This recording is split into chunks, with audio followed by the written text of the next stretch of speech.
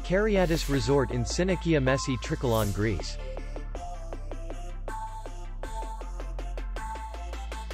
Distance to city center is 5 kilometers. And distance to the airport is 88 kilometers. We welcome guests from all over the world.